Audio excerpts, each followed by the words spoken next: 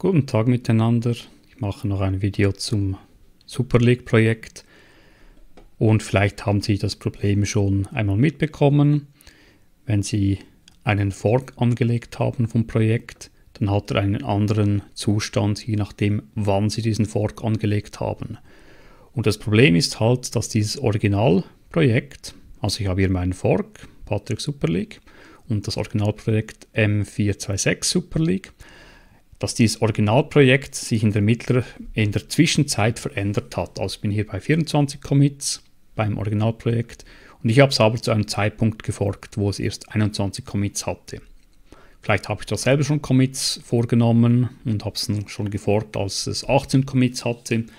Auf jeden Fall sind jetzt diese beiden Repositories auseinandergelaufen. Wichtig, ich erweitere im Originalrepository das README zum Beispiel die Bewertungskriterien. Hier sind schon alle drin, also im Originalrepository.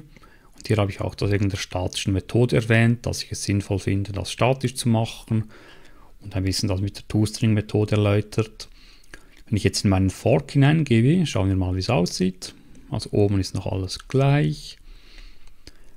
Dann hier, das mit der statischen Methode ist bei mir jetzt noch nicht drin. Und dann wegen den Bewertungskriterien, ja, die fehlen hier auch noch. Okay, wie löse ich dieses Problem jetzt? Grundsätzlich, also hier das Originalrepository M426 und hier meins, Patrick Superleague. So. Ähm, zuerst brauche ich das natürlich mal lokal, also kopiere es mal, hier den Link und gehe dann in meine Git Bash hinein. Ich habe hier ein Verzeichnis gold.frickelbude.ch und da habe ich Modul 426 und Patrick drin. Ähm, ich gehe jetzt mal in mein Verzeichnis und klone das einfach. Den aktuellen Zustand. Ups, ja, TLS kann man außerhalb des Schulnetzwerks übrigens aktivieren, habe ich jetzt vergessen. Ist ja egal, ist nicht so wahnsinnig sicherheitsrelevant, was wir hier machen. Also geht einmal ins Super League Projekt rein, git log und sehe da 13. November. Jetzt ist da letztes Mal was geändert. So, jetzt möchte ich aber diese Änderungen vom README nachtragen. Hierzu schaue ich zuerst mal an, Remotes, git remote-v, welche Remotes ich habe. Ich habe das Origin und das zeigt hier auf mein persönliches Projekt mit Patrick.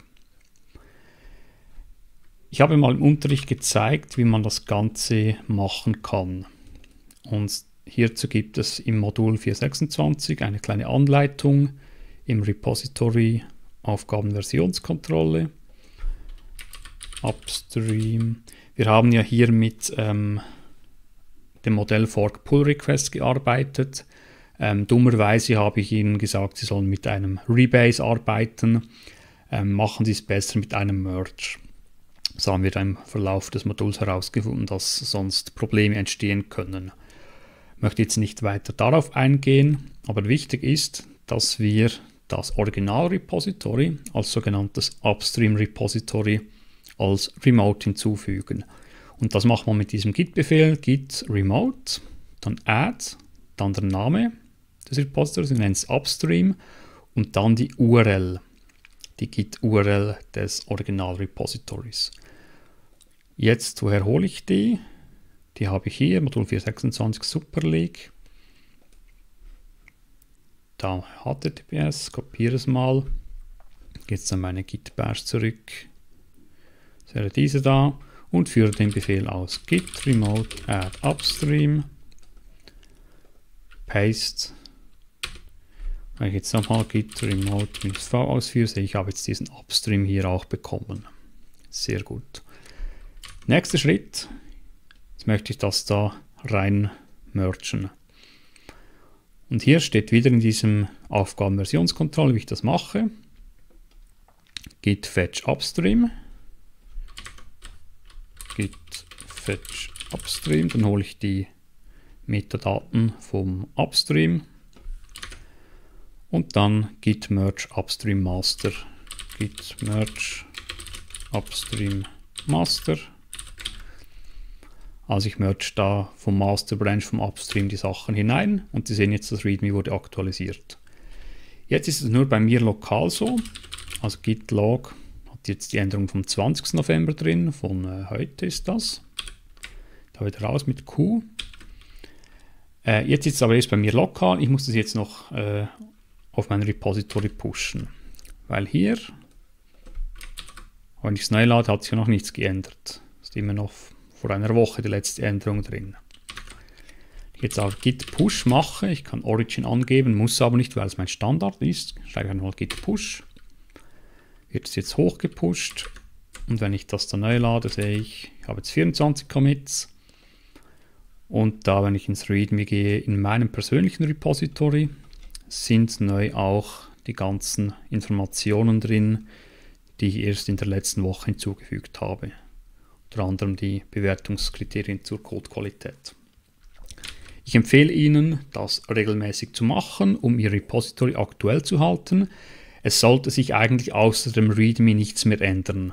Und das README müssen Sie selber auch nicht verändern, darum sollte es keine Konflikte geben. Ich habe erwähnt, dass es ein Bewertungskriterium gibt, dass Sie die ähm,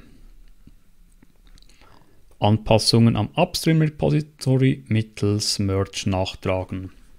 Wenn Sie das machen und alle meine Änderungen im Reading mitgezogen haben, gibt es einen Punkt. Sie müssen das nicht die ganze Zeit machen, aber machen Sie es doch mal kurz vor der Abgabe, dann kann ich Ihnen diesen Punkt auch geben. Oder noch besser, machen Sie es einmal jetzt, wenn Sie dieses Video geschaut haben, um es auszuprobieren und dann nochmal vor der Abgabe und dann haben Sie diesen Punkt. Das zum Thema ähm, mergen mit dem Upstream. Ich werde dann noch die zu den anderen Punkten, zum Beispiel zum Tagging, ein kleines Video machen. Besten Dank für Ihre Aufmerksamkeit.